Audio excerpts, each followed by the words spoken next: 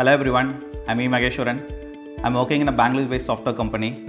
Currently, I'm in my native Madurai for work from home.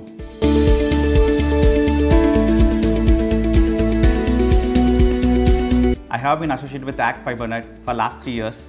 Act is not a new for me. Even I'm using Bangalore as well as in Madurai. We have been forced to do work from home for last one and a half years.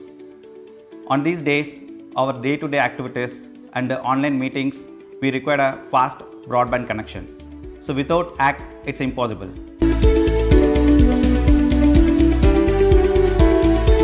We are getting a good seamless service with equal upload and download speed for our office work and entertainment purpose.